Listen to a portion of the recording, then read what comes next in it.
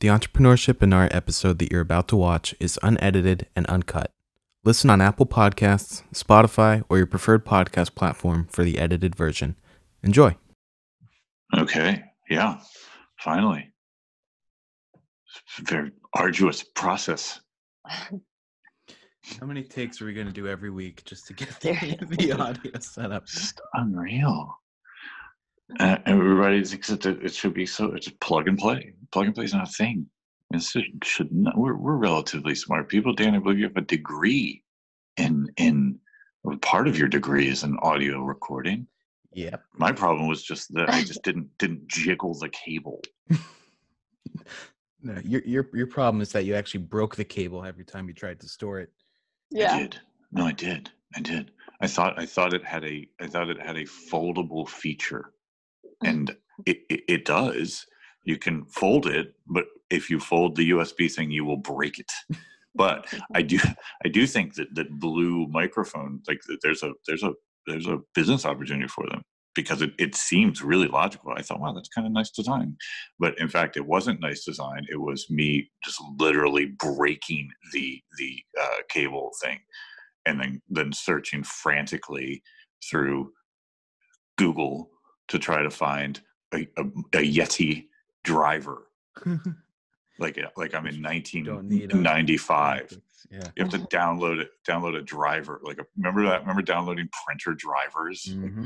You have to you have to go to the Epson website that looks like it was built in 1992 and download you know some file like with an extension um, like it's like dot .rqz42 right and then download that and then unpa- unzip it and then install the driver. I don't remember this.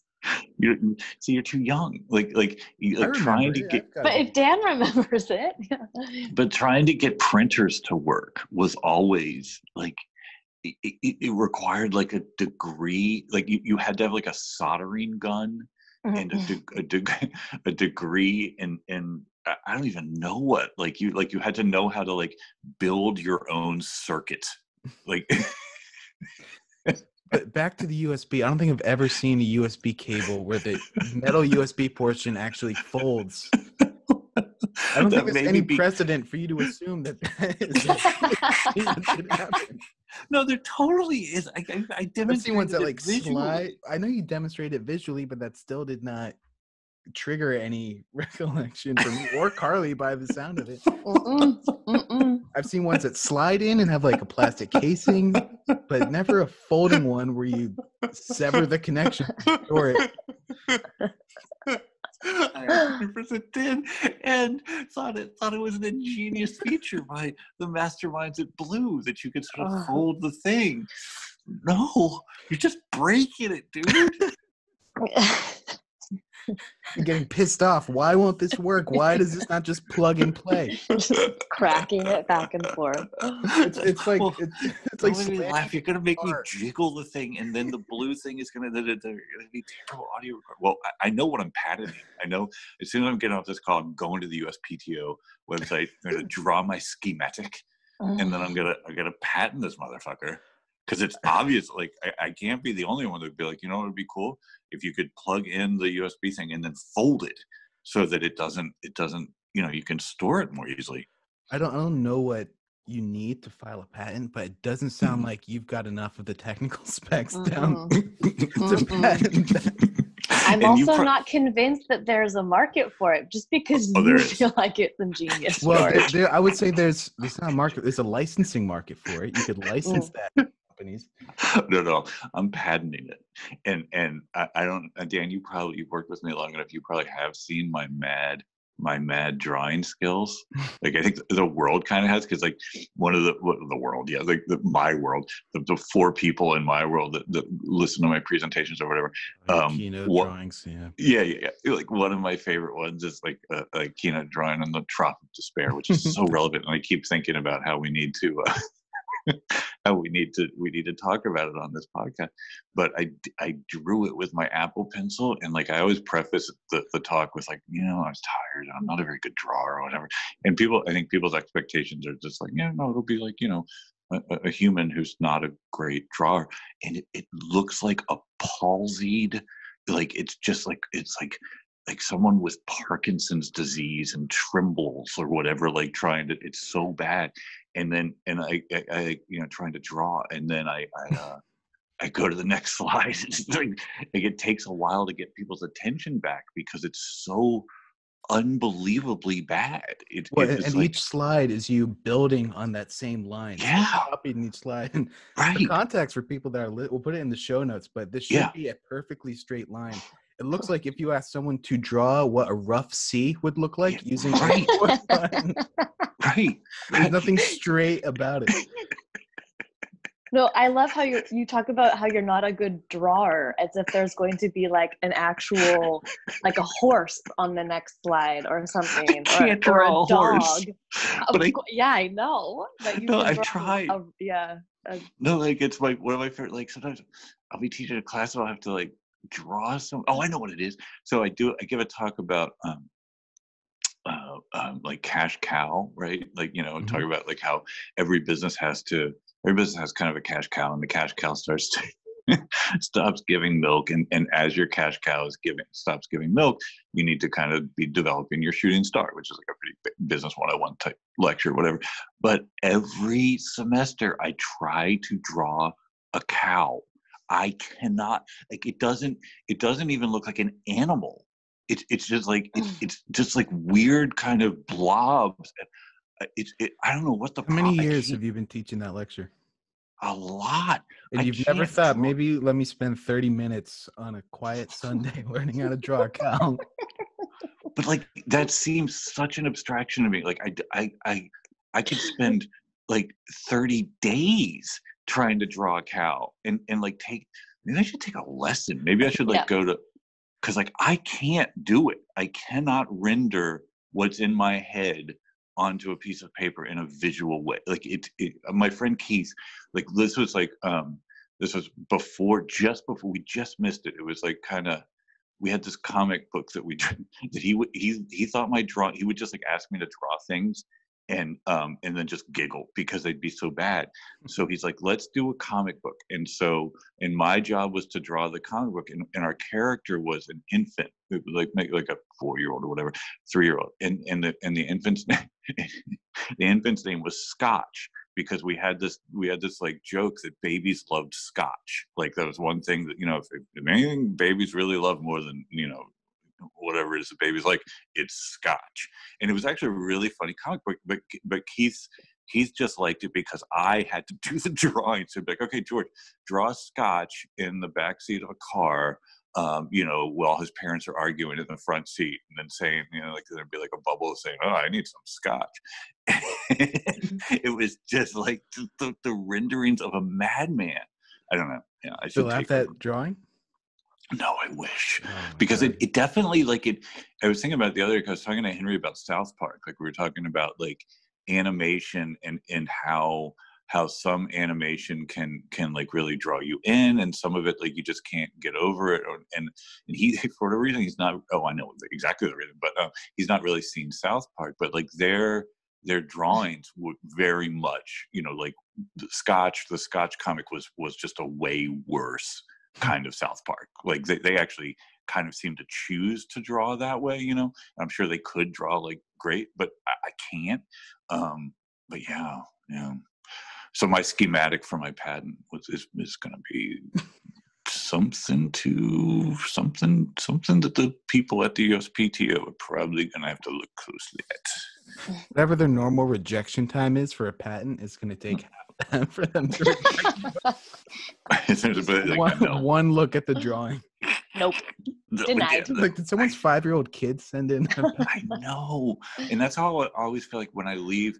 Like I try to be a, a good, you know, colleague and erase my whiteboard or whatever at the end of a class or something. But um, but sometimes I don't, and and and I I worry like what people must think wandering into my classroom um, afterwards and looking at at the whiteboard that's up there. I mean, it's just oh, it, I mean, it's just like it, I mean, like a Rube Goldberg machine of of lines and squiggles and random words and things. But you know,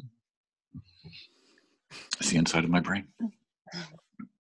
and I love it. Um, so I don't know if it's a class or a talk that you've done. There's been a few times where you've done a talk, you've written stuff up on a board or whatever, and then people take photos of it. Yes, And yes. it's like, how is that possibly going to help you? Just write down what he's saying because you're not going to be able to decipher this. Uh, one of those was when we were doing the the talks in Mexico.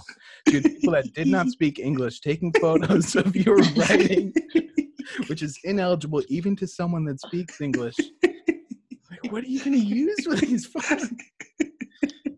well, well, and I feel so bad because, um, you know, increasingly colleges are admitting students where English is just not their first language, right? And like um, Berkeley has a, has a, a large population of, of Asians, and and you know, I speak quickly, and and then yeah, as you say, I just I write stuff on the board, and it, it it's it's as you say, it's the, the the goal of the writing on the board isn't so much like okay, copy it. It's more just to kind of it's just the rhythm of the class. Like it's just it's just how I teach, and and I'll, I'll write mm-hmm. a word up there, and then kind of teach around that word. I don't expect people to parse it out, and it also like there's a bit of a method to my madness. Like it also slows me down because once once I get going, you know, and then um and then I will know that I have to translate. So I'll just scrawl some gibberish up there and be like, okay, now let me read this to you. And I, and and I've taken to telling students. I think this is this is good advice generally. Like, don't write while I'm talking. Like like let me write it down. Let me talk. And then write it down because you try to do several things at once. But um, but as I say, th- there are a lot, a lot of non-native English speakers that, that are in my class, which is tricky, and I think a, a, a, a questionable business decision at times. But um, but yeah, they'll like I know they're not understanding my my you know me talking because I, I speak quickly, and if, if English isn't your first language, and then yeah, at the end of the class, they will walk up and take pictures of the whiteboard. I'm like. And I'll stop them. I'll be like, "Look, come to my office hours. Let's talk this through because I can't imagine that that's going to do anything other than confuse you." But Do you allow people to take voice memos or audio Absolutely. lectures? Yeah. Yeah, Sure. yeah, yeah, yeah, they do that, and they have to film it, whatever. I mean, I, I I think that there is a certain point, like where colleges are going to have to, because like whatever the TOEFL or TOEFL or uh, what's the chocolate, the, the like Rolos, like kind of, um, I don't know, but like the the where English, the test that you have to take, um, where you lost. Yeah. Sorry. no, but what's that chocolate like to, to, Toblerone? Um, um, How is but- that like Rolos? It's not. I mean, it kind of, it's kind of like the similar like vibe to a Rolo. It's it's Made sort of of like chocolate. no, it's like Rolo's cousin, like a Toblerone. No, disagree. Fully No. disagree. yeah. No. I Anyway. Think- Go, uh, on. Go on. Get Well, but like, to, to, what's the test? the TOEFL? metaphor is lost. TOEFL. TOEFL. What's the test what that that somebody has to take in order to to like be yes, you have sufficient uh language skills to to be oh, okay, yeah, yeah. Um, anyway whatever the the, the Toblerone test, TOEFL test. Um, yeah, the like- Rolos test, right? yeah, Yeah. i think that the i think the bar may be pretty low you know like if it, it, it, you know i think I- don't think it's a rigorous test that like to pass the toefl test or something. Um and so i think that the colleges are going to have to increasingly be like have a translator you know i mean if we're going to have 40% asian students and the the toblerone test is is like can you can you say hello?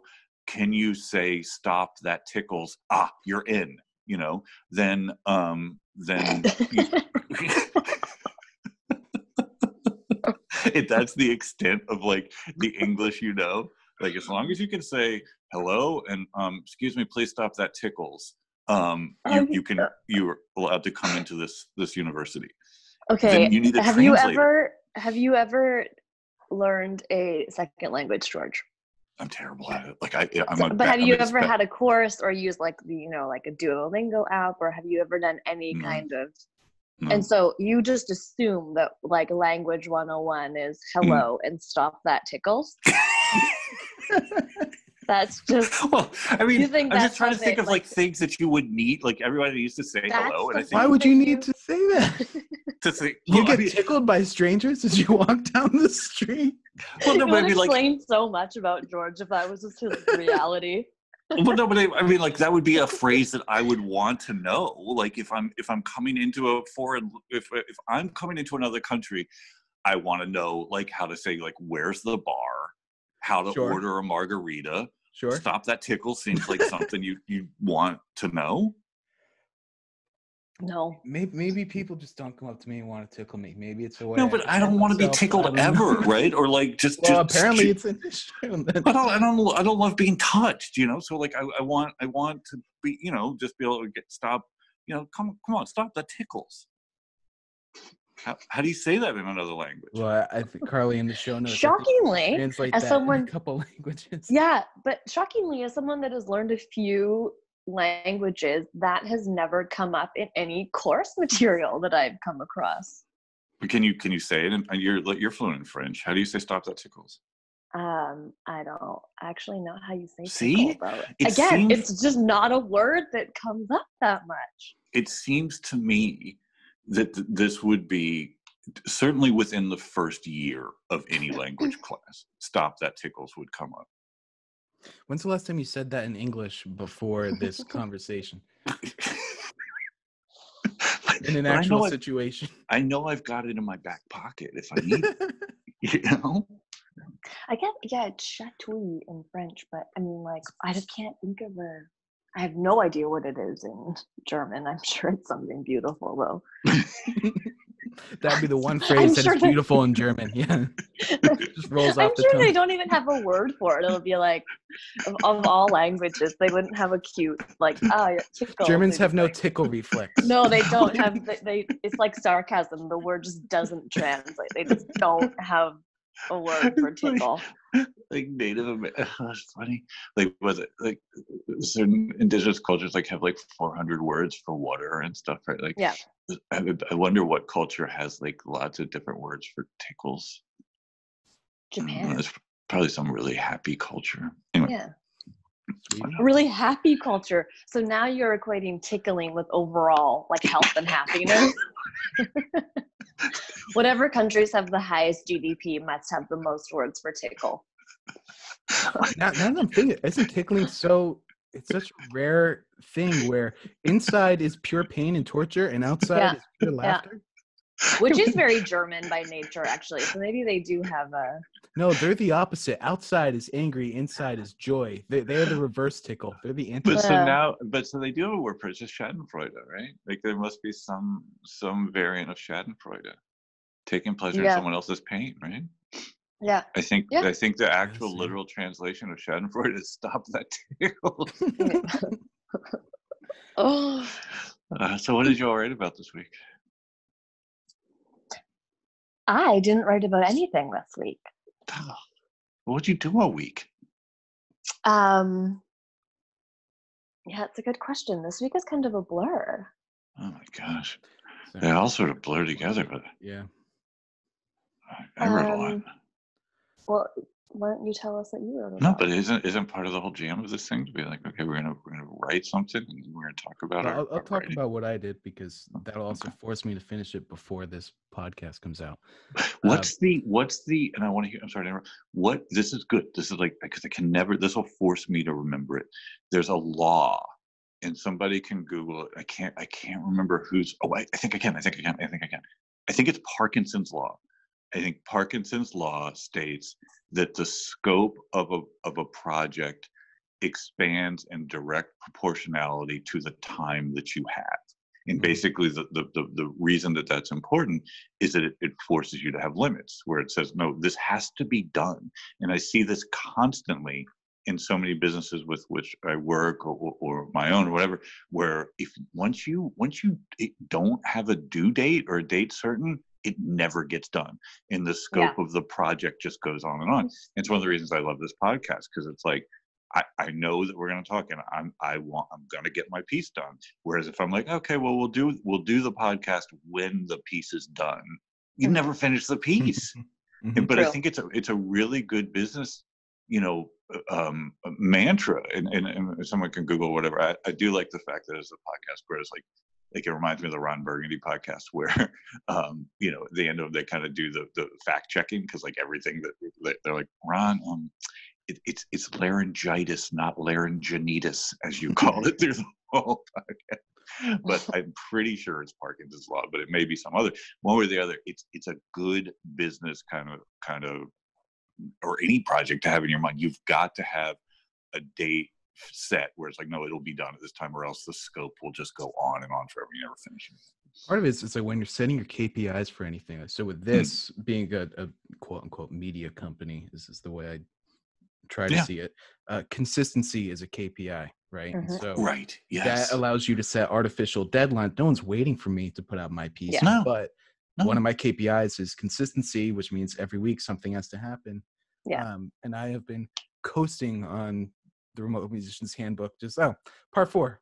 you know? it's, it's like it's like Yeah, it's like a half life. Like the, and the parts keep getting smaller. You know, it's like you know, part eighteen. It's just like a word. And for Um, people who don't know, KPI is key performance indicator, and it, and it's one of those what I call uh, TLAs.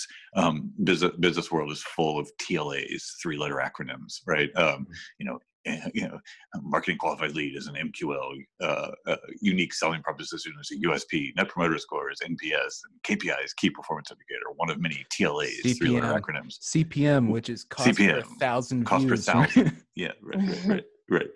But um, it's funny that the, the TLA is a three letter acronym for a three letter acronym. yeah.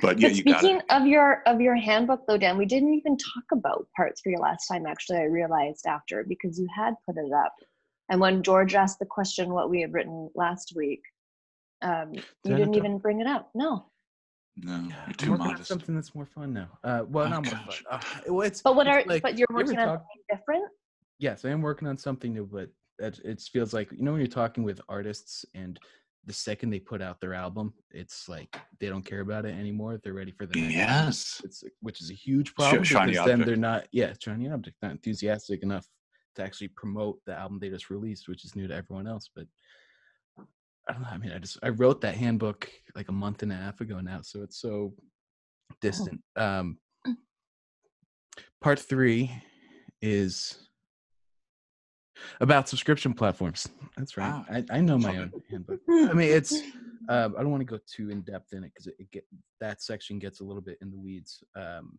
about the different platforms that are available and what makes sense. But I do frame Patreon as kind of the de facto subscription platform for any creator. The idea being, especially now when you need a reliable alternate source of revenue, having what is essentially a fan club, right? I mean, I remember paying Mhm. Annual fees for fan clubs, but they don't seem to be very prevalent anymore. And it was it was usually like major artists that would have paid Yeah. fan clubs. I'm- Um, I'm still a proud member of the REM fan club, What are the annual dues on that? and it's free. And they actually don't. They don't like. They don't like people talking about it anymore because like they don't want to shut it down. But then they keep it going. But it was. It was. You just have to. You had to write them, send them like a self-addressed stamp envelope, and you used to get Hmm. really, really badass stuff. Like I've got REM Christmas singles and all these these great things, and then they blew up, and, and they didn't want to change the terms. But no, it wasn't. But it, it wasn't. There was no dues around it. I mean, if it's free, it's basically a fancy newsletter, right? Correct. Um, yeah, but but- but, Yeah. you got to remember this is going back to like literally 1986 or 84 or something. So it's- Archaic times. Yeah. Yes, the Mesozoic era. Um, but the point with this is you need reliable recurring revenue. Um, doing a membership uh, service with your fans is a great way to do it. And I love Patreon because they let you set tiers. Um, I arbitrarily put five, ten, and fifteen dollar tier recommendations. Um, I think it's important to have something that's in the single digits because as soon as you hit ten dollars per month, Elasticity.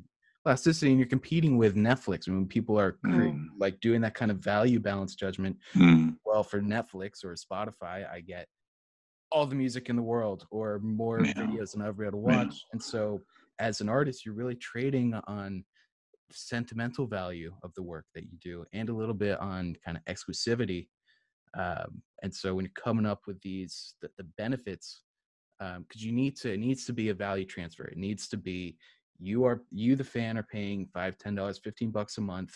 I the artist am giving you x. And I, I love i love thinking of value transfer as you always if it's a 51 49% kind of value transfer one party is giving 51% the other party's always going to feel like they're getting a better deal. So if as an artist you can over deliver, and for I don't know five bucks a month you do exclusive live streams, you do demos that aren't really suit for publishing publicly, but that core set of fans would love it.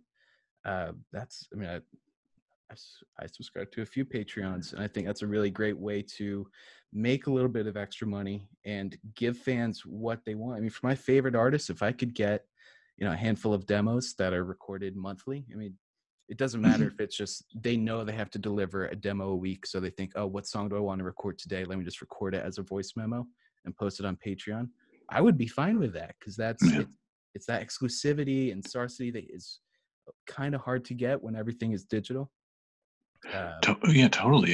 And this this goes to the whole, you know, risk of commoditization. If you, if, I mean, there is fatigue. There is there is very much subscription fatigue where it's just like, man, I can't. And particularly in these times where I think everyone should be, if they're not, kind of reassessing. Um, you know how much they're spending and, and how much of it was really there's a certain um, stoicism that i think like is is probably part of part of what's going on with people right now um, in the sense of like in, in the classical sense stoicism is just kind of just having what you need rather and, and like the reassessment of of what is it that we need.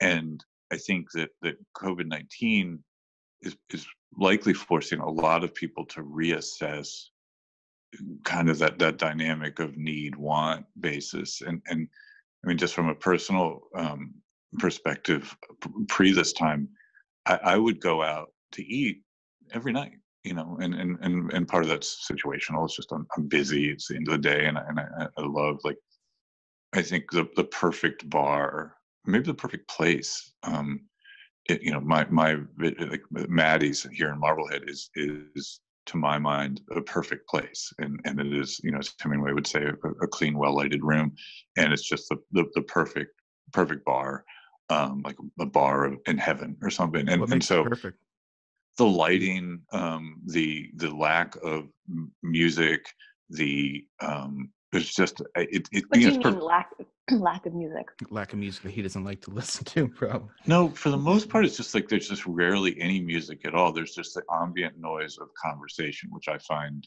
beautiful, right? And and um, I, I do have I do have really like I'll leave restaurants um, when when they're I've left many restaurants just because their their musical both volume level and choices are so um distasteful to me that I can't enjoy the meal. Like I just like it and I know that sounds like a but it, it really as a musician, as an artist, as someone whose brain is tuned into those things and people always like just shut it out. I, I, I can't. You know, it just and and so um, you know, if there's some smooth jazz going on in some restaurant or something like I, I'll I'll just leave like I can't I can't do it and I, I there was a restaurant here in town and I went down. I want to support the local restaurants, and I'm sitting sitting at the bar, and um, you know, the, like I think they had one speaker, and and I was like directly positioned in front of it, and they were just blasting kind of mid '90s,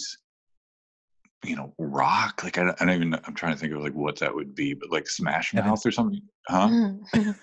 yeah, it was like Smash Mouth, you know, and and and and it's a nice restaurant, and and, and I'm trying to eat or whatever, and and I I uh, eventually get the bartender's attention, um, and I, I point at the speaker, and I just say, "Why?" And he says, "What do you mean?" And um, and he's and I said, "Well, you, you have a nice place here, and and but the the music's like aggressively loud." And it's Smash Mouth, like it doesn't like it it it doesn't make any sense. Like there's no rhyme or reason to it. And he goes oh well you know one of the uh, servers or whatever likes it. I was like yeah that, that may be true and it, it may be doing the job to be done for a server. Like if, if you're wandering around maybe you do need smash mouth or whatever to keep your energy level up. But as someone who just like wants to sit there and and eat their you know calamari or whatever like i i, I don't want to hear hey now da, da, da, da. like I, it, it like it will make like it makes me like it, it, it i lose my appetite it, it it makes me mad. Like it makes me like, it, it, like I get mad that that song like was such a hit. Like it's it's not a song. Like I don't know what that is, but it's not a song. It's like it's it's an ad. I don't know what it or who it's an ad for, but i don't um, think that's fair to say no, it's not. You you It's a song. It's, It's not a totally- song. Dun, dun, dun, It's a, ca- it's, Oh. it's a catchy enough beat that you can see. You've probably listened to it five times in your life, and you can recite it. I mean, No, I've listened to it like five million times. That's my problem. Like it's one of those songs that, that like you can't go anywhere without hearing that song. And it, it's I have not, not s- heard that song in years. I cannot remember the last time that I heard that song. I was listening to um, every every night at dinner. I choose a different pre-made Apple Music playlist, and I put on um, 1999 alt rock hits, and that song came on during dinner, and I loved it. I listened to that in forever, and I was like, "This is a jam." No, it's not.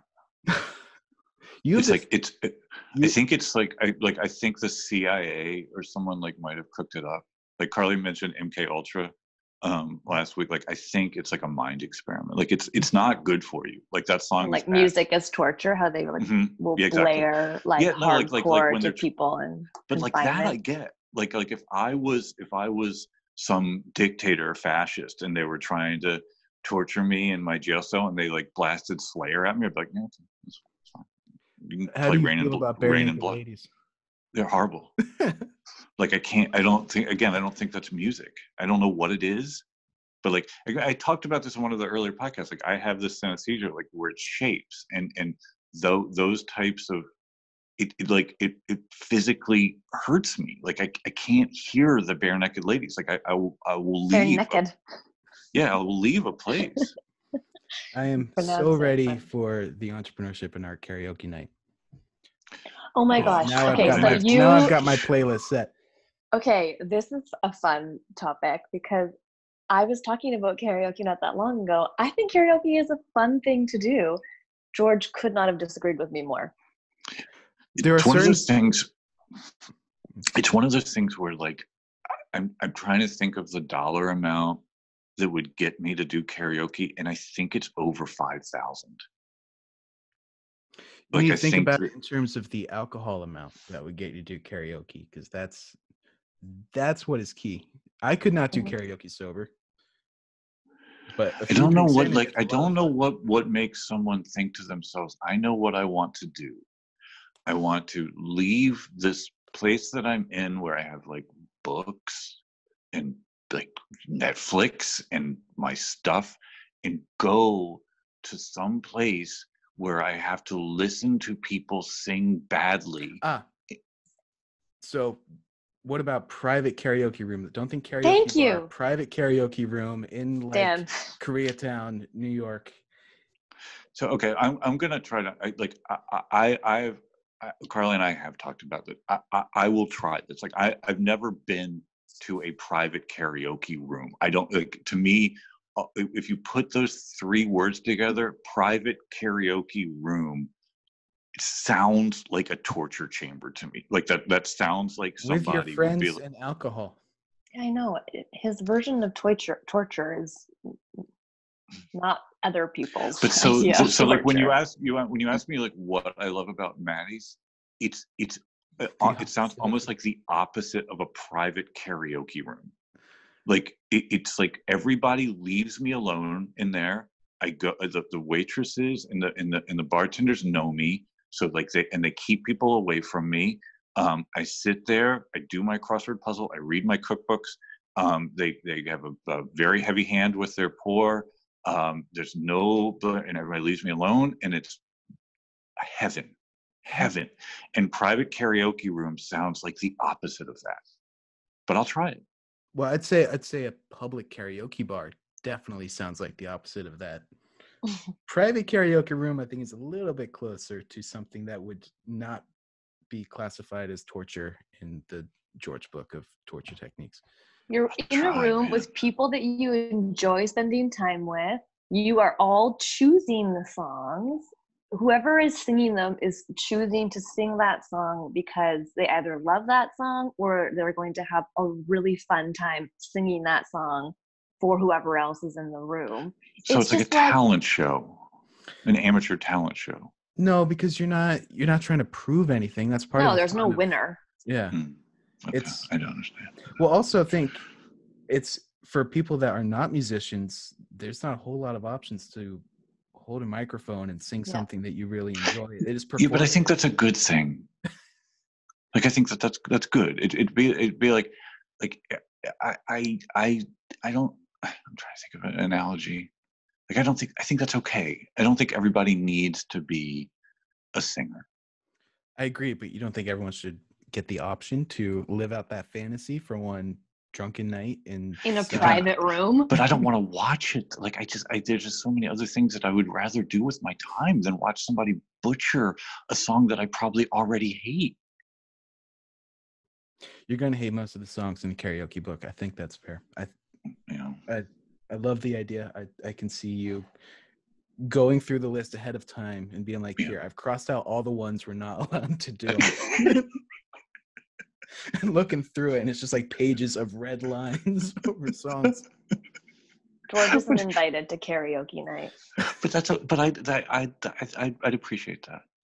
Yeah. The, the, big- like, but I, I but I, I and I, I will do it. I'll do it with I'll do it with gusto. Like I, I will I will I will pick a song. I bet they have. I bet there's like it's the key though. Like not like people have a, a range. Like I don't understand mm-hmm. how they know what your range is, right? And I don't think most people know what their range is. And it's just like they're not good. Like you can't be like, oh, okay, yeah, I want to sing "Man on the Moon" by R.E.M., but I need you to put it in the key of whatever, right? It's just going to be in the key of whatever. So some some you can choose the key, but I, I've got a oh such a bad karaoke memory. I used to um when I was 18, I used to play bar shows. I was a bar Uh-huh. singer.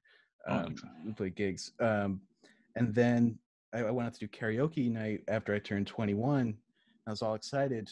Um, and one song came up that was on my set list that I used that I had sung a hundred times. And I was like, oh, I'll do this. I'd forgotten that I bring it down like four keys in order to right, sing. right.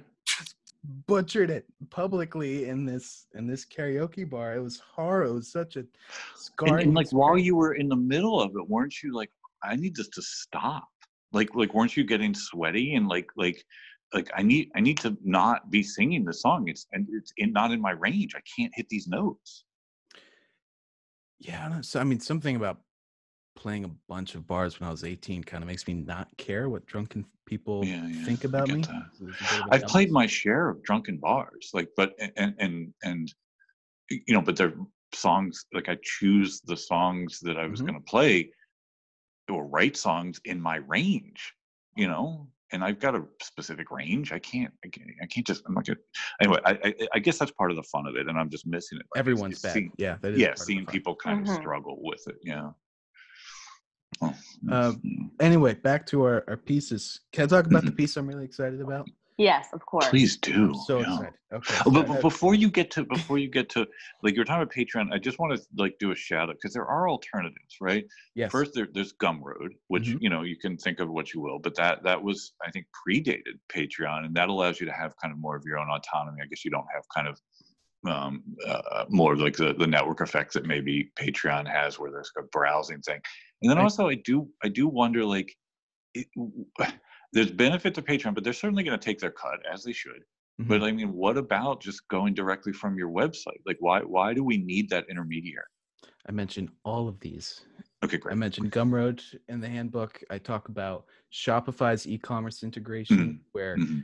you can do a subscription setup. Part of the hardest part of the subscription setup is these recurring payments that you don't want to Yeah, have to manually Right, right, right, right, right. Um, right. so it's it's kind of worth paying an, an extra one percent fee to cover that. Um, yeah, and I mean, I don't want to go down the whole blockchain rabbit hole, though I did give Oh, a okay. consensus. But um, what's that? no, no, nothing. But it, it'd be nice to like avoid those types of transaction costs, right, and just have more in the artist's pocket. But I, I, I do get it. But Yeah. anyway, go go go to your piece that you're excited about.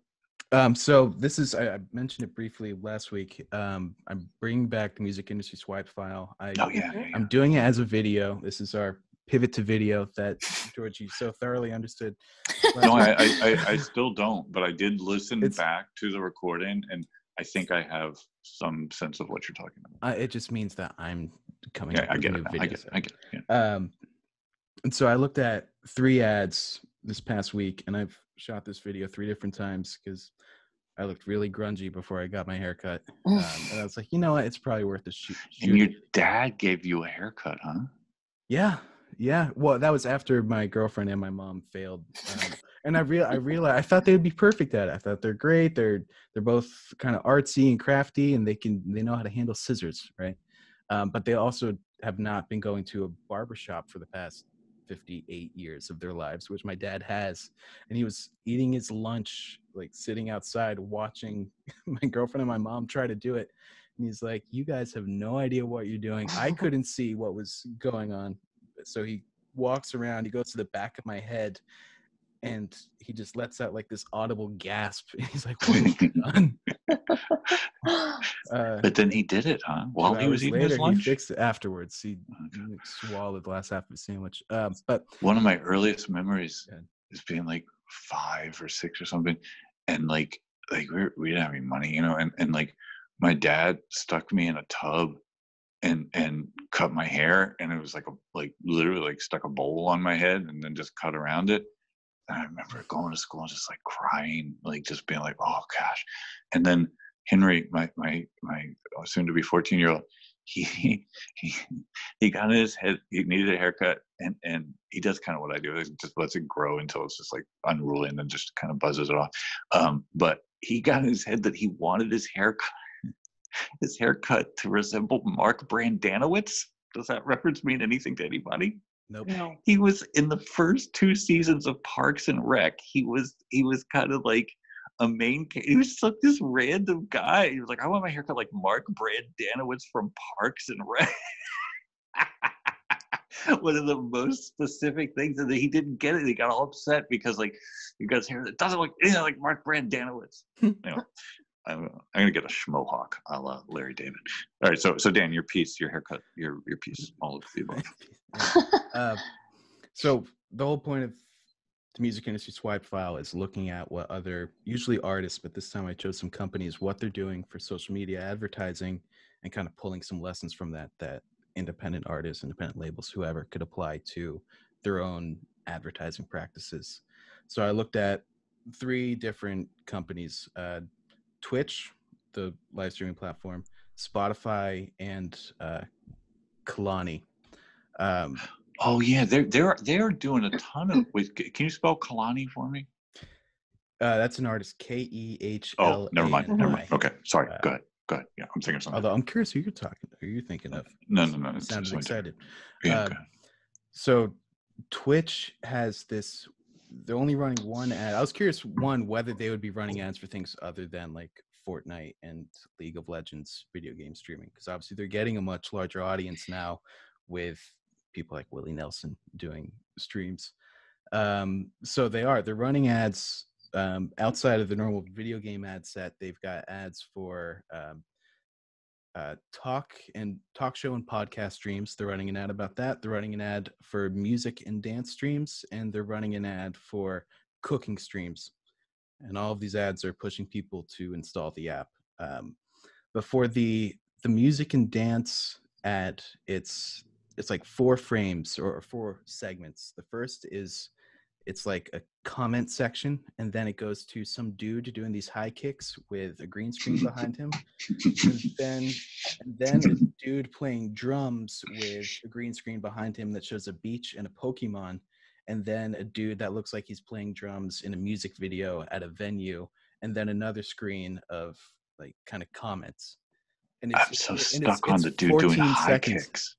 That's their dancing, yeah. Oh, okay. okay.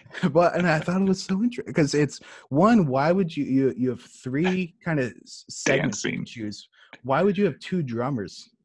There are so many Mm-hmm. so many things you could put in there. One, EDM is huge for the music live streaming. Why would you not put a DJ? But instead, you're going to put two drummers, and one of them has a Pokemon behind them, and the other is like looks cool at a venue um, to show your range of drummers that you have on the platform, uh, which feels like a very niche audience that would respond to that. Um, and who knows what their targeting is, but it was basically that ad, and they had three different versions of that ad running the only difference is the background color for the comments. So I thought that was weird that you've got all this creative content that you could create an ad out of, and the only A/B test that you're running is what background color looks best with um, so I was, I was incredibly underwhelmed, and because Twitch is owned by Amazon, so they've got more money than anyone else. They could be Right. a huge creative team. Maybe they don't need to. Maybe they're getting so much organic interest that Yeah. advertising is not a priority. Um, but I was I was pretty disappointed by what I saw. Um, but it is interesting that they are actively running ads for talk shows and podcasts, music and dancing, and cooking streams. So they are trying to branch out beyond Yeah. just video games. Um, and but in, in total contrast, then I looked at Spotify, and they have so many different ads running, and they're what Spotify is doing is they're looking for um, they're looking to make themselves relevant to people that would maybe wouldn't typically pay for a music subscription. Um, and so maybe they figured if you're the kind of person that would pay for a music streaming subscription, you probably know about us. Um, so instead, what they're doing is um, they made a playlist. One was NFL drafts. So Oh. everyone that got drafted in the NFL chose a song. Um, Oh, I like that. That's a yeah. there's a good collision. Yeah. and I imagine they're targeting people that are fans of football, right? Right. Um, they're doing one for they're doing a series of ads for Asian American and Pacific Islander Heritage Month. Hmm. Uh, Whoa. And- specific. Yeah, I'm really proud of myself for remembering that whole phrase. Yeah, Um, gonna because I've I've said it on video like five times now. Um, and what they're doing there, which I really love, because it's it's difficult when you're when you're a company, especially a, a very white European company, uh, to run an ad set specifically targeting um, a a ethnic group of people that you are not. Right, I think that's a really delicate thing to do Very much so so. yeah. what I like that they did is they chose artists that had that background and kind of let the Mm, artists speak for themselves. And so in, Yeah. in a way, their their ad dollars are going towards um, increasing the visibility of these artists. And so I think that's the best way to do it. Um, they had people like Madame Gandhi, uh, Nikki. And so that was, I know her. Uh, Um, uh, Karen. Kiran Gandhi. Yeah. No, I've I've I've, I've done some work with her. Yeah. Madame she- Gandhi. Yeah. She's yeah, great. I remember her speaking at, She was on um, a at panel. Berkeley. Yeah, I think I brought her there. Yeah, yeah, yeah. Mhm. She's great. and and well and, and what I what I liked about seeing her, is she's such a um, you know someone that's outspoken on social issues. Yes. So I feel like she wouldn't have done that unless she was convinced that the people that are running this campaign for Spotify have have the right idea. Yeah, she's very values driven. I mean, I, I think the first time I ever saw the, the future as female was on on, on a shirt that she was wearing. at one point. Yeah, she's she's great, and she's one of those artists that she's a drummer. She was MIA's drummer for a while, and um, right. Yeah. but she's she's very smart. I believe she has. I think she went to Harvard Business School. Um, but um, but she. Uh, and I think we're, we're we're both hammering on the same nail, which is you know these different sort of collisions or adjacencies or trying to like you know overlap different interests beyond just music. I always I always reference like Zoe Keating as a data scientist who's also a musician, and and Kiran Gandhi is is you know just a, a an entrepreneur who also happens to be this badass kind of percussionist and um and, and, and then and it is those those collisions those those different those smashing of unexpected things so the nfl draft which i could give two shits about right um but i know sports people are just so hungry for anything apparently that was a big a big thing so then to say okay let's have these nfl people pick some of their playlists that's actually interesting to me like you know i don't know i'm sure there's a lot of smash mouth um, being picked but I think, so- I think you're 15 years late on NFL players choosing Smash. Mouth. um, but yeah, probably, probably wouldn't be your your first choices. Um, And there- Yeah, there was more of that. I mean, they were doing ads that I presume were targeted towards people that are interested in health and fitness, doing ads showcasing all their different workout playlists. They did another one for cooking, and they showcased all their cooking playlists. Um, they did one for video games, and they, well, I thought was really clever. So in this video game ad, um, they're promoting the playlist that they've created um, and the soundtracks of different video games. So they were I don't know the laws around it, or whether when you're distributing to Spotify, you're giving them license to use your album art in advertisement and promotions.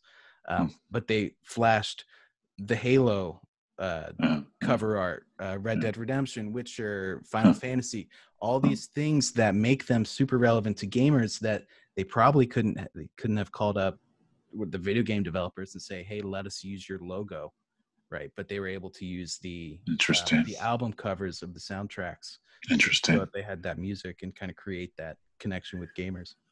Yeah, there's a legal construct known as false association, where it's a trade. It falls under trademark, where where if you are creating in the consumer's mind a, a kind of partnership that doesn't exist, but it's it's it's gray, it's challenging. Um, but but yet just making those those. I mean, taking the, the law aside for a second, just kind of making those um, quantitative leaps where where okay, you like this thing, this video game, this whatever. There is there's music that's adjacent to that that kind of surrounds that and, and enhances the experience. I mean, and going back to the whole food thing, I mean, I, I know it's being sort of glib, but like there's an art to music in restaurants and music and food. I was listening to some, oh, I think it was a podcast you all hit me to. Like, I think it was a Reply All podcast, and, and they were talking about, um, it was a, just a minor thread in the story, but they, they were talking about music and, and supermarkets and the, the, the people that program music for supermarkets do it at a tempo that mirrors um, a shopper's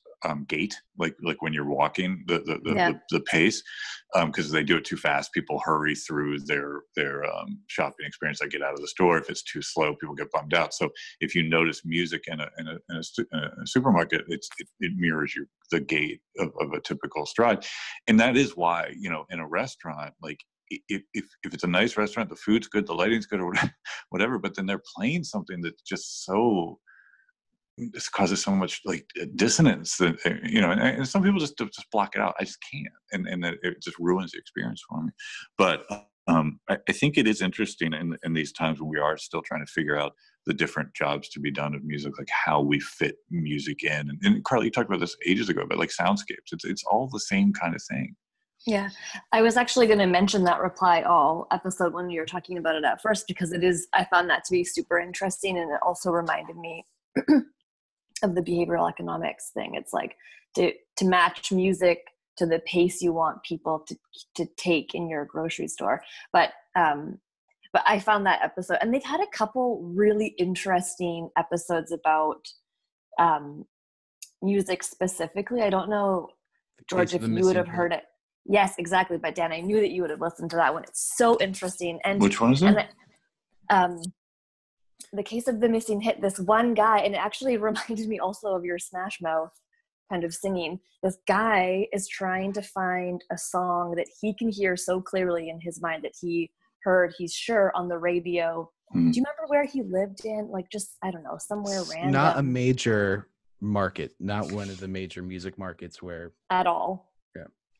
And uh, anyways, they talk about how um, I don't know if it's still the case, but record labels actually like experiment sometimes with local radio Sure. stations to do that kind of localization. Yeah, sure. But but the, Reply All has done some really cool stuff with music, and that one was one I'll share it in the show notes. Okay. But the the um, grocery store one I think is is interesting too because I just I know that so many people just don't think of of music in those types of ways, but there is a science and an industry, and I think PJ even says like it's so funny that a thing that I've never even thought about. Of course, there's like this huge industry behind it. People don't think of of music Mhm. as kind of a in Well, that job to be done type of way.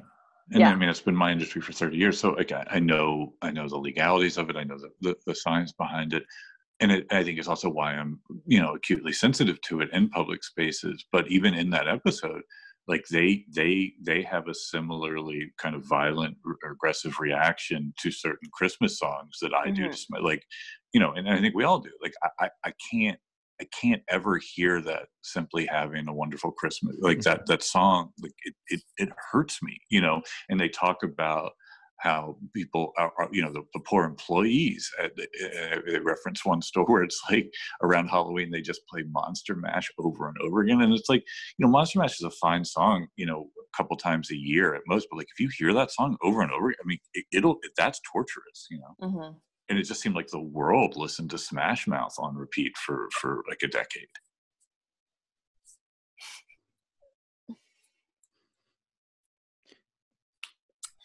Do you want to talk to us about what you wrote this week, George? I would also like to mention that while you shamed me for not writing anything, you have not written any original content for entrepreneurship and art in almost a month. But talk to us about what you've been doing for Forbes. Well, I, but so I, I mean, it's all for the same. I mean, I uh, like I, I did I didn't know that was a thing. Like I've also learned from listening to more podcasts since we're doing one, like that, apparently like you can have rules and stuff. Like I, I mean, if that's a KPI, I'll, I'll, do that. I thought I thought it was. What just, do you mean you know, rules? Well, like like I, have heard people like come on podcasts and say, okay, we're we're doing this podcast, and the rules of the podcast are like I, I don't know what they are, but you know, but like if that's the thing, I'll sure I'll write. But I I just my output is just here's stuff, and I don't care where it goes. But yeah, I mean, I can write original things, um, but they're all original, you know. I mean, not, but um, I said but original you, you, for entrepreneurship and art. Okay, so I wrote I so I shot out a tweet, and this I think this goes to Dan's point earlier also um, about the, the, the direct quote was, "I'm literally begging artists to stop doing uh, uh, online shows for free." Right, and and it was just it was just one of those like so many tweets uh, they're just sort of shouts into the night right? Shouts into the void. But this one the void kind of shouted back at me and and there was a lot of a lot of retweets and a lot of you know you know agreed george or whatever. Um and and but there was more importantly there was a kind of a stream back at me of examples of artists who are doing things that are um are are you know not just here here's my song that i've lived my life trying to write and spent countless hours and just here hope hope you like it you know which just to my mind is a continued devaluation of of music. And and that's not to say that there isn't a time and place for giving giving music away for free to build an audience. I totally you know. But at a certain point if, if we don't if we as artists don't kind of stand up and say no my my work has value and you need to pay for it I mean, it's not the customer's fault. You know, the customer customer doesn't just as, as, you all are saying about like music and supermarkets and stuff. It's not the customer's responsibility to understand how the mechanics of that work any more than it's my responsibility to understand how the mechanics of my you know water or dishwasher work or whatever. But I, I know that it has value. Um, so one of the one of the artist one of the someone someone referenced like oh george you should look at this artist joe pug who i knew. I mean i know his his his, his he's a really really good songwriter and he's a, like a true working musician. He's got a really cool podcast called the working musician podcast where he talks to artists. The working and so songwriter. i'm sorry? It's called the working songwriter. Thank you. And so fact check. Um and so um we got we got in touch through through twitter and and i interviewed him and um it's a really great interview I mean, because it, it it's and in the Forbes piece I talk about how most of my pieces at this point have been talking about the, the job to be done of of of, of music in these times and I've looked at everything from Fortnite to to the Grateful Dead or whatever but and I say it explicitly in my piece I said I've I've sort of ridden around the elephant in the room. And the elephant in the room is that sure you know Sweetwater is having gargantuan numbers and and Fortnite's doing cool stuff with Travis Scott. But the elephant in the room is that the, the vast majority of working musicians just had their their revenue disappear.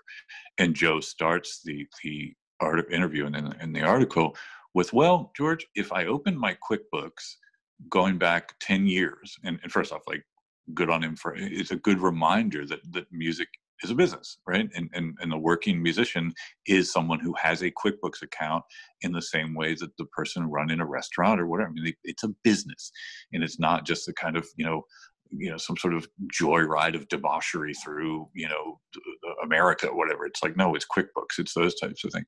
And he says, um, if I open my QuickBooks up over the past ten years, roughly eighty to eighty-five percent of my income on my P and L is from live performances, right? 85%. So so he he has managed and, and, I won't go too deep into it, but he has managed to come up with varying ways in which because of the, the, the brand equity with which he has from his fans, that that to, to both of y'all's points, he his fans are willing, not only willing, eager for more. They're, they want him to keep doing what he's doing, and he's created a sort of architecture of participation um, amongst them and and he's doing fine. And one of his one of his really many salient points was, I see this as as he says, I don't see myself touring again until fall of 2021 at the earliest, right? So, but when it comes back, um, it doesn't mean that I will just abandon these new techniques. They'll just be additive to that. And and that's a really great kind of entrepreneurial, innovative mindset. It's like, okay, I'm going to fill this void now. And and then when when the void re- that I, um, filling has returned, the way to do it doesn't mean I abandon these things. It just becomes part of my greater sort of portfolio which in business terms is a hedge, right? You, you, you're now hedging against these types of future things. The other really great point that he made was, I have the same access as you too right now, right? He's like, you know, they they can't, they, they have, he said, like orders of magnitude more followers or whatever on, on Facebook or whatever, but I have the same access and same tools generally. And he's right, and that that that brings us back to the original kind of in, intent of the internet was the democratization, and it's why things like net neutrality are so important and, and can't go away, because he does have the same access. What he doesn't have, of course, is a massive organization and a record label. It's it's it's him and and his manager, who I think he he refers to appropriately as his business partner. And so I'm, I'm constantly telling artists, it's like you, you just need that one person who can be the, the, the business yin to your creative yang. And Joe's that rare artist that's sort of a bit of both, but it's it's it's a partnership. So um, and it'll be the first time of many, I hope, where I am addressing the elephant in the room, and, and I'm, I'm still, I, I, want it, I want it to be dispatches from working musicians, and I just want to tell the truth. I just want to get out of the way of the story, good and bad and, and say look this is the reality because there, there is a, a natural kind of bias for people to either paint a, an overly bleak portrait of things or an overly kind of optimistic and it's like well let's just let's just step aside and listen and, and try to learn. So it was, it was a really good conversation and again i mean with with all my articles if they're not just think pieces they're they're they're, they're good or they're or they're not because of the the person who i'm talking to and in this case joe was just a great person to talk to yeah, that's great. I, I think it's so interesting with this, um, just the, the fact that everyone is stuck at home, right? It's there is no. This is the moment right now. This is the moment in the future. It's it's this series of different stages. Even already, when everyone was first stuck at home, all of a sudden everyone was live streaming, right? And it was in a lot of ways it was really cool. It was cool to see all that content coming out and all these different artists doing things we'd never seen before.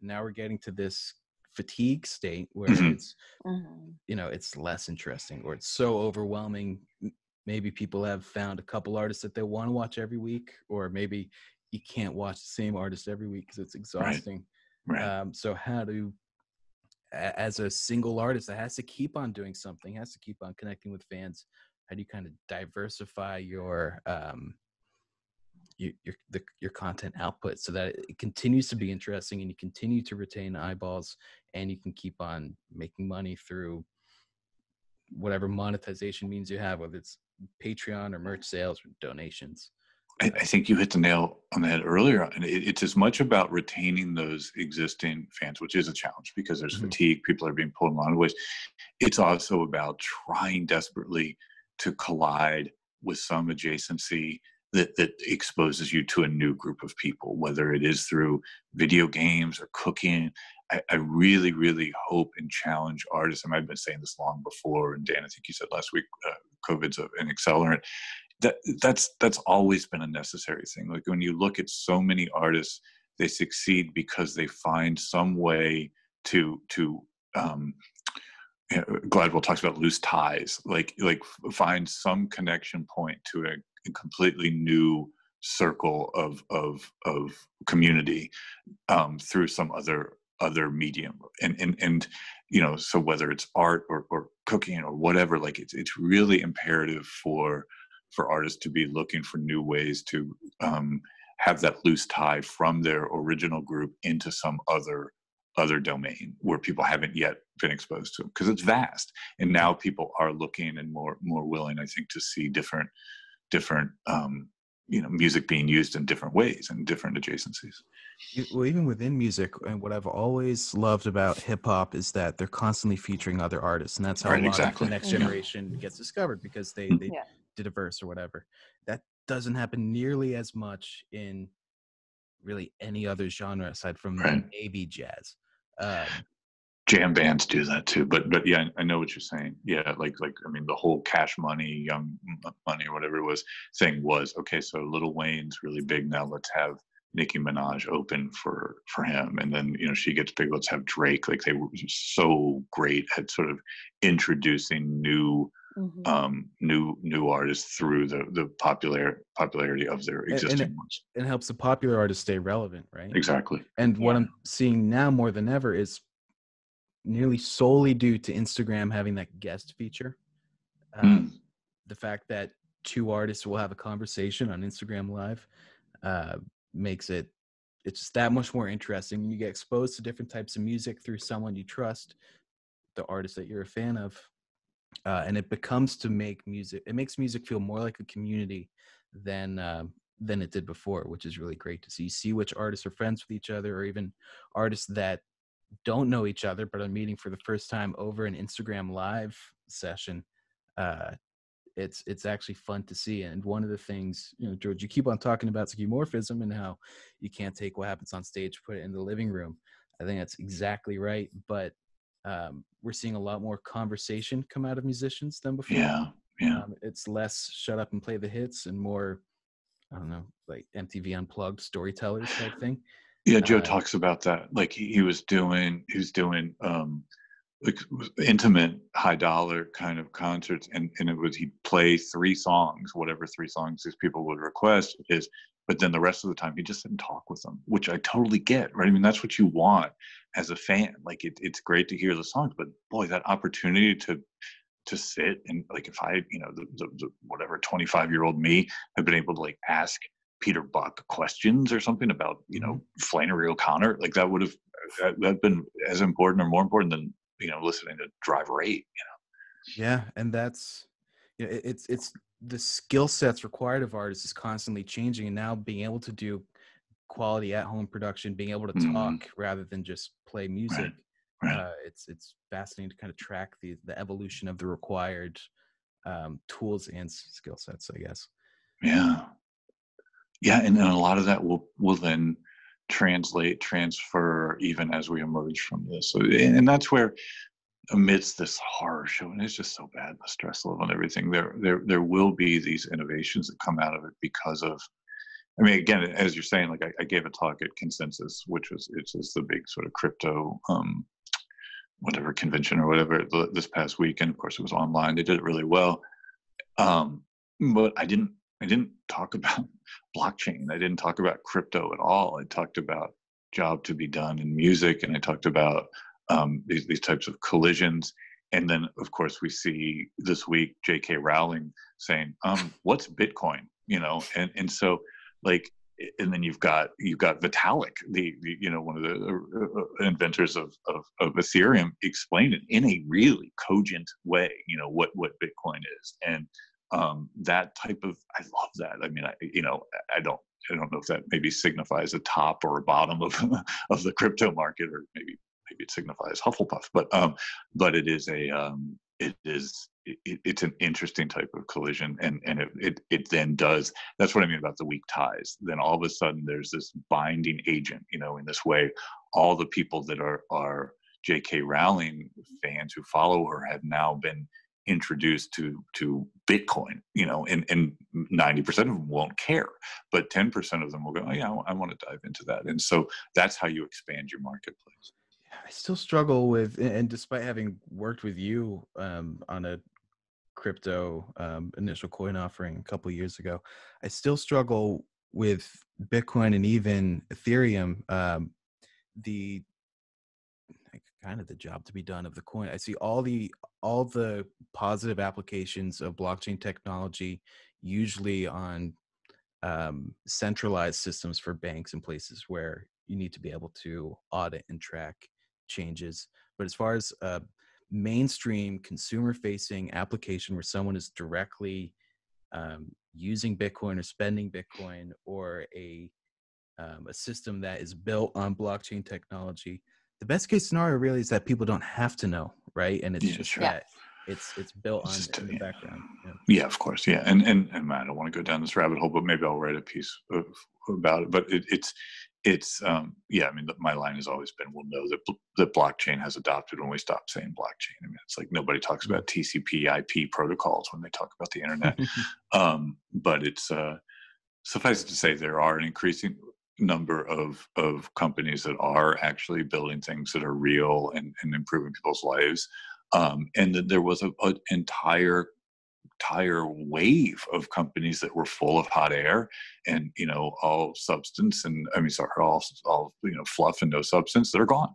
And then but but you see that in any emerging technology. I mean, you saw that with the internet. Um, so the, the technology is real whether bitcoin survives and i don't know obviously i mean it, it, it it's it it arguably is a store of value kind of in the way that gold is but there's not enough liquidity around it. On the other hand if you've got gold bars under your bed right now i, I defy somebody to be like break off a piece of that so you can go buy water you know um, so it's it's uh I, am not i'm not going to really opine on the, on the merits of, of bitcoin. It, it's but i will opine on the merits of, of blockchain as a technology and I, and I think that that's that's pretty pretty solid at this point. I don't think there are a lot of people arguing that, that blockchain technology is some kind of fad. Yeah. I think that's why you don't hear the word as often. I mean, everyone Correct. used it as a buzzword, and even the people who are building blockchain based solutions, they don't use that word because of the kind of fluff perception yeah. of it. And yeah. yeah, I mean, I. Yeah. Well, and as consumers would care a lot more about what that actually means for us, sure. right? Does that mean yeah. I'm going to get my payment from PayPal quicker or something like that? Yeah, with, yeah. with less training. But uh, again, that's that's it, it, goes back to these tools. At, at, a certain point, I think we started this conversation about talking about drivers that were required to to um, power printers. Like, you know, like we we still have we have printers now, and they kind of just work. There's still drivers powering that it's it's the, the user experience has just been smoothed over so much that it is pretty much plug and play until it's not and then you get really frustrated. And and that's but none of us know the technology behind how when i hit you know air whatever and share and, and, and it just prints out on my printer like that's there's so much complexity.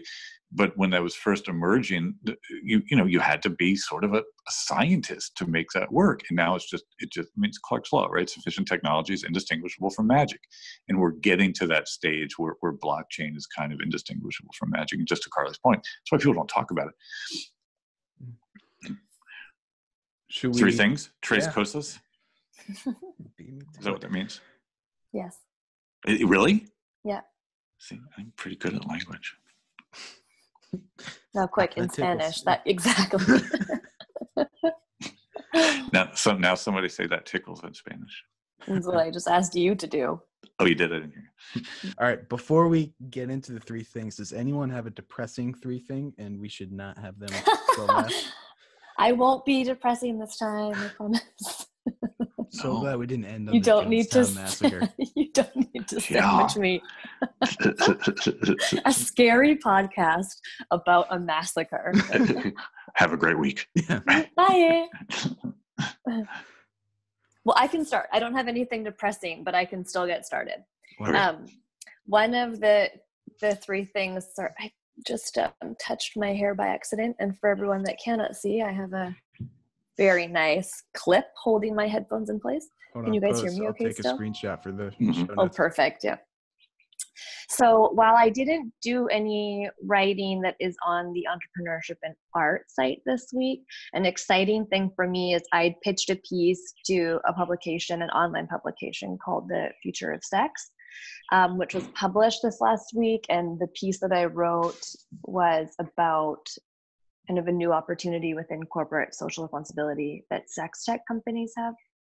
And um, I'm going to be taken on as a writer there. So yes. I'm going to be doing some more pieces for the future of sex, which I'm really excited about. I think there will be sometimes an overlap between entrepreneurship and art and this kind of sex tech angle.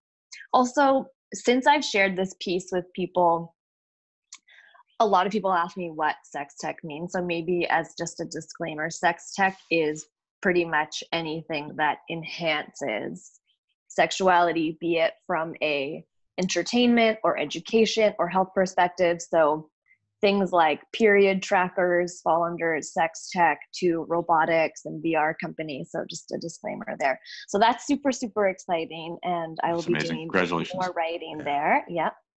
And um, another thing that I want to mention in my three things this week is I am constantly saving things on the Pocket app and the Pocket plugin. And um, normally I save them and forget about them, but I've actually been thinking about Pocket this week and going back and reading pieces that I've saved there. And I really love the podcast, the sorry, the Pocket UX as well. Like I have the um, browser plugin, so I'm constantly just saving tabs. So then the app itself is really great. And one of the one of the sites that I'm always saving things to Pocket is um, Aeon. I think we mentioned it. I don't know on the podcast, but amongst the three of us before, they do um, a lot of like long form essay type of pieces. And so often I want to read it, but I'll think like, oh, I don't have time right now. But I read a great piece this week via my Pocket app from Aeon about um, it was pretty much a piece about, and I don't know if I'm saying this right, phrenology. Phrenology, like the brain.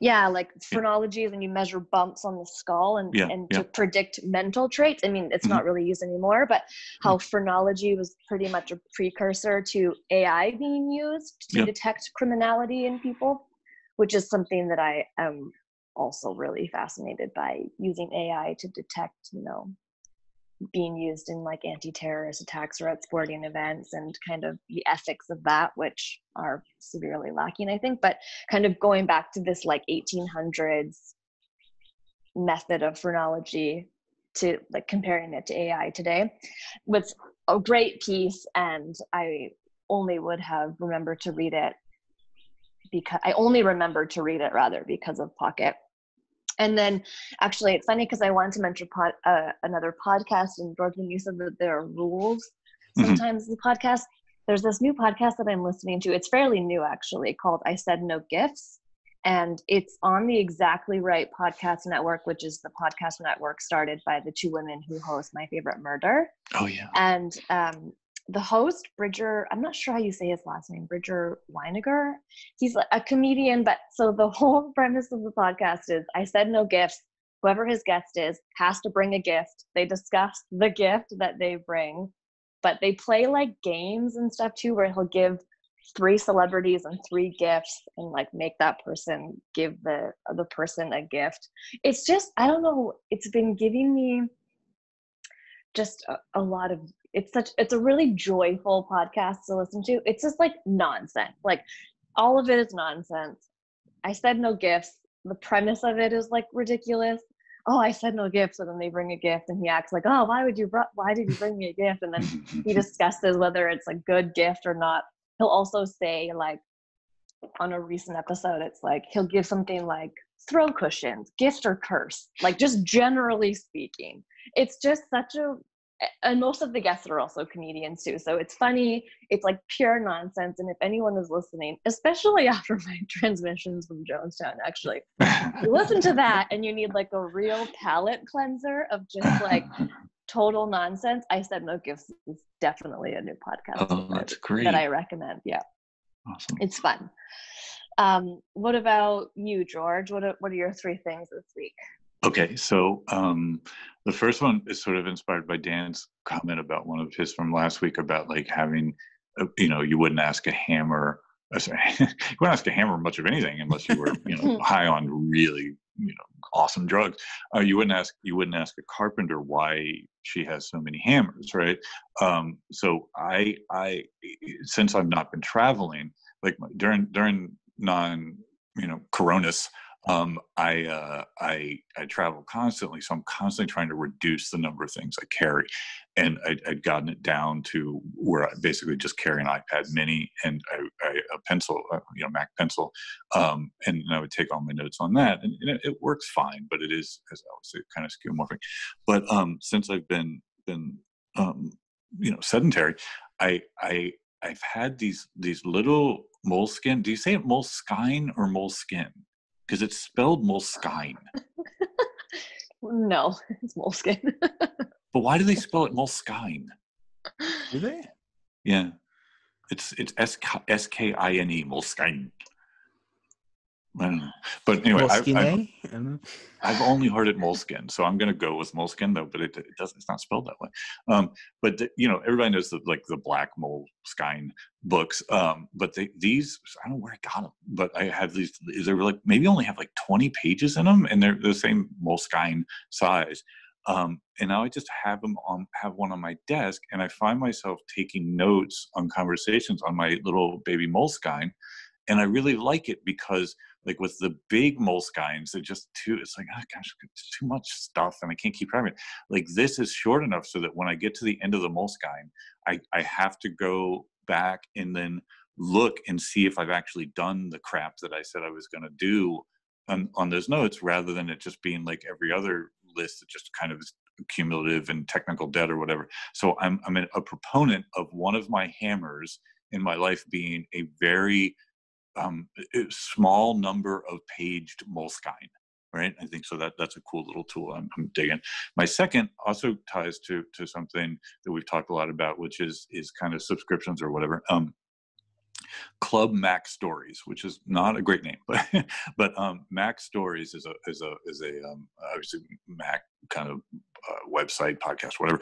Um, but that you can pay five dollars a month and you get um, you get a, a newsletter. Um, you get access to like I'm big on I code my own little code is overstatement, but I, I create my own shortcuts, Apple shortcuts. I, I, really find them very useful. I made a I made a shortcut for um, pour over coffee that like tells me you know the, all the details of, of the process of, of pour over coffee so i love making little shortcuts and, and this guy this guy's name is federico Viticci and he, he runs the club mac stories thing and man i look forward every every friday for my club mac stories newsletter to come and i nerd out over like the apps and things and it, it's just a really really great kind of it's just so well done. So I think I think last week I was talking about one of the weeks I was talking about cocaine and rhinestone rhinestones and and how the guy would rhinestones yeah. um, how deep the guy would go on on certain topics and it, clearly that's a theme of mine. I love it when people take esoteric things and just deep dive. So there'll be, you know, there'll be 45 minutes on on, you know, some app or something, right? And it, it, it makes me really happy. And then my third um, is is uh, Old Bay seasoning.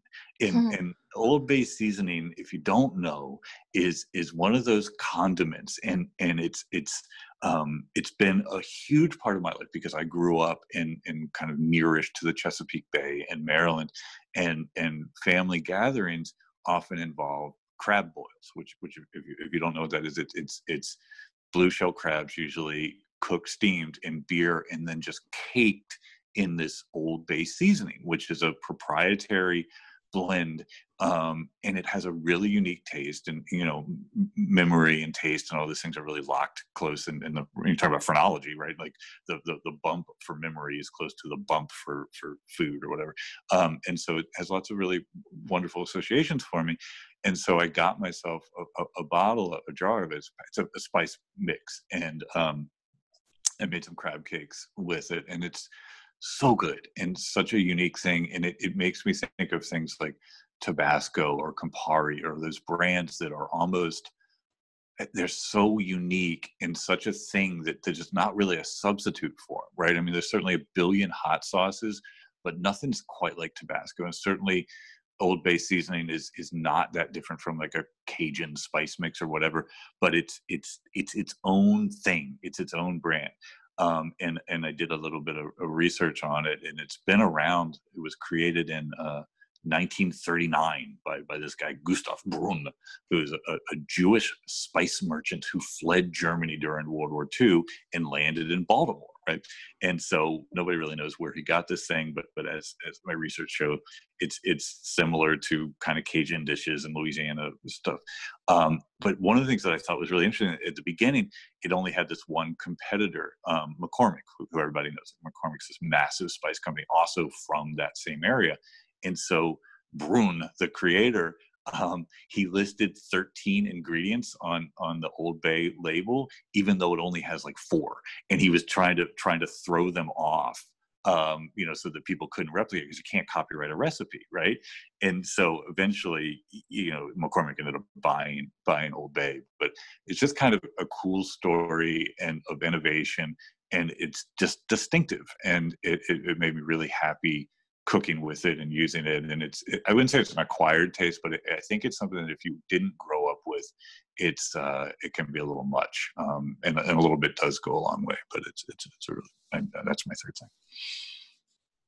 Daniel a lot of variety today. Uh, i'm a polymath as you talked about last last week um all right first i'll start with a uh, a frivolous quarantine purchase that i made that I was sure it, I was going to be let down by and it wouldn't be worth the price of admission, but I love it. Uh, the iPad Magic Keyboard. Yeah, uh, yeah, you love it, huh? I've, I've, yeah. I've, read a lot about it. Yeah, I was, I was so, I was like, I don't need this. I really don't. What size is your iPad? Eleven inch. Okay. And so I had the Smartfolio keyboard, and I, use it with. Oh. Sometimes I use my external full size keyboard with it, but I was like, I'm, I'm on my iPad all day three hundred dollars. Yeah. I'll get the value out of it, um, but I thought I would still not feel like it's worth three hundred dollars. It's really great. It's yeah. really it's. That's what I hear. It's a better, despite a smaller keyboard size than what's on my MacBook Pro. I actually enjoy typing on it more. Yeah, um, that's what everyone says.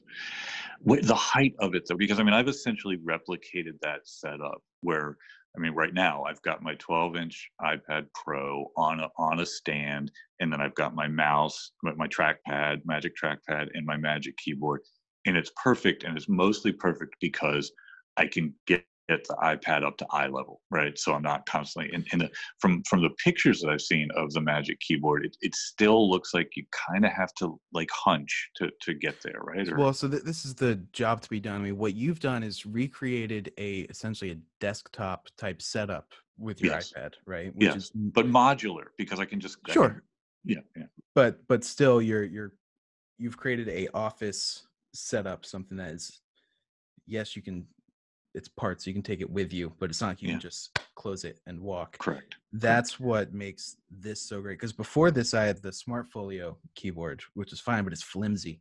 Yeah, right? it is. I and have that on my mini. Yeah. You know, not now, but I was, you know, going. I was taking um, Amtrak up to Boston pretty regularly, right. and it was just a bummer to use my my laptop is too big to use on a tray. And so this is perfect. And this now, especially where I'm staying right now, I can take my iPad, close it shut, take it outside, sit on the patio, and and read or browse the web, and it feels it just feels. Wait, hang on. So just, just, in terms of usability, so if you wanted, if, if you close it shut, it's still attached, and you can then take it out and read with, while using your iPad, like read on your iPad with the thing still attached, or do you detach it?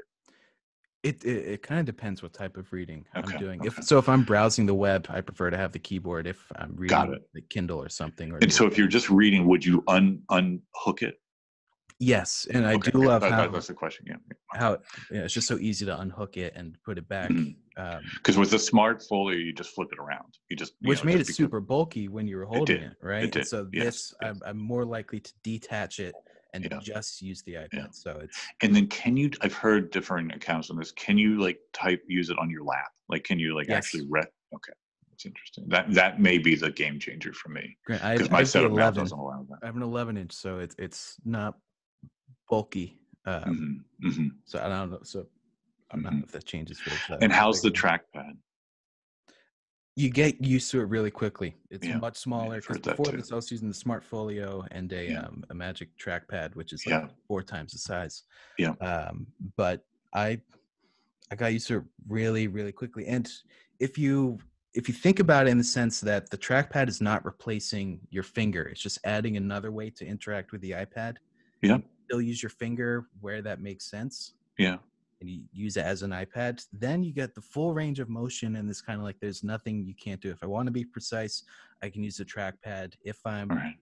doing something that is, um, I don't know, bigger, more fumbly, or a finger makes sense, there's no reason not to use my finger just because I have the trackpad. So I think that's yeah. See, that was that's that's the deal breaker. I mean, that was always what my goal was. I've ninety percent gotten there where I never have to touch my iPad I, my my hands never have to either leave my my keyboard or my trackpad. Some apps But- just don't work with the track. I know, I know. Yeah. Cut and paste is still sort of a nightmare, but yeah. Yeah. Um, all right, number two, uh, I, I rediscovered the song that I, I, I fell in love with like three years ago. Uh, it's called Argenta. It's by a band called The Four of Us. Are either of you familiar with them? No. No. They were a, a 1980s, 1990s kind of Irish rock band. Them and U2 at one point were like neck and neck. And now no one knows who the Four of Us are. Argenta? The band is called the four of us. The song Oh. is called argenta which is a recent song by them. But i discovered it i think two years ago because i was listening to um, back pre-coronavirus I used to go for walks in prospect park and listen to different um, local bbc stations. I just choose a random town and listen to what the, the hosts were talking about. Oh, cool. it's interesting. Um, and so i was on an irish one and they had this band the four of us playing and they played the song argenta which is a really beautiful song but i, I looked it up because it's it's so specific it's a it's a story and it sounds it's like someone didn't just come up with this um, it's it's about being locked on a ship as a prisoner and the conditions that you're in um, and it's and the this prisoner wanted to be home with his family and his loved ones and working the fields instead of on the ship where water is uh, rising um, and it's these guys don't know anything about that so and it's Yeah. and so I was like, where does this come from? And so I looked it up. I just Googled Argenta. It's about this boat called the HMS Argenta, which in the 1920s was a prison ship uh, for the British Royal Navy, uh, immediately following Bloody Sunday in Ireland, um, where they held 263 Irish Republicans on the ship. Um, and it was originally an American um, cargo ship called the SS Argenta, but it was decommissioned because it kept on taking on water. And they said it wasn't fit for use. So England bought it and used it as a prison ship. And these prisoners, one, it would constantly leak, and so there'd be water filling in the in the ship. Um, the toilets were broken and commonly overflowed into the water. Uh, they I ate thought off we weren't going to end on a depressing note. yeah. That's why I've got one more after that they ate off of floors, which led to lots of disease and illness. So it's just fascinating that hearing this one really beautiful song. I encourage everyone to listen to it. We'll add it to the playlist. Yeah. Uh, led me on this like internet Yeah, path cool. Through this that. random history, and which this ship was mostly forgotten about until 2011 when someone had found like signatures of all the um, the prisoners and wrote a book about it. Wow. That's I love cool. that.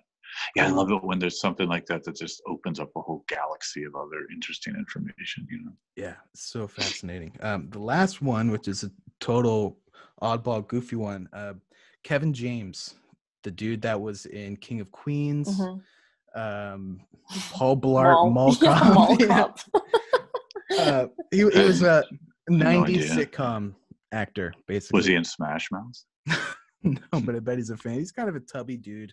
Uh, he played like uh, he was a uh, in King of Queens. He played a FedEx driver, Hmm. I believe. Um, I, I, it was always on when I was watching dinner in like middle school. It was it was just reruns, Watching Um, dinner. eating dinner, eating dinner, watching TV. Oh. I don't know, depending on the food. Maybe I was watching. um, but so a couple months ago, he started posting on YouTube, and he's partnered with this production company called Kinane Productions, I think, like Eight Brothers. And these videos are hilarious. He he has a series of him as a sound guy, and he's like wearing a backwards Mets cap, and he's got the boom mic, and they've not just green screened and put him into these famous movie scenes, but they've got the lighting right so that he looks like he's right there there's one there, there's um the Star Wars scene in Empire Strikes Back where you find where Darth Vader reveals that he's Luke's father, and so you've got Kevin James there. Like, "Wh- what? Did, you guys hear this? Like, and he, Darth Vader cuts off Luke's arm, and, and you see him go, "Oh shit!" oh, that's funny. the scene from uh, the uh, the recent The Star Is Born remake where lady, whatever Lady Gaga's character's name is like refusing to get up on stage. So he did a version where he ends up getting on stage and like using the boom mic, and they just edit it so perfectly. There's one where, uh, and they're all like a minute and a half long, so they're perfect. There's one um, with the Notebook, the scene where Ryan Gosling is like, "What do you want? What do you want?" And he's just like, I, "I'm just trying to get levels. I'm just." like, where do you want to be in your life? And he's like, listen, I just want to get levels. I just want to get through this. Uh, it's so fun. It's so clever. And it's when you see someone that's had significant Hollywood success go onto a platform like YouTube, I'm so skeptical. Will Smith did it, and it was just like vlogs of his opulent lifestyle of like going Right. to different islands. Jack Yeah. Black has done a really great job because his kid um, films his YouTube vlog. Uh, Right. goofy dude. But this Kevin James one, it's all like two minute skits, and it's so he I'll have to watch that. he's yeah he's so brilliant. And I'm sure once you see his face, you'd be like, oh, I know Yeah. exactly. who That that guy, is." yeah. Uh, but it's I- not who you would expect to do something so great and so uh, just clever. It's it's really really funny. I had this idea that uh, um, after when Harrison Ford got really famous for um, Star Wars, you know, and and like it was, it was, I think he was partly f- got famous because of Chewbacca, you know, and I wanted him for all future all future movies to put a clause in his contract contract that in any movie that he- was in, Chewbacca would have to make a cameo so, so like I just thought like like witness you know the amish movie that harrison ford's in like you just see chewbacca like around a corner in like an amish hat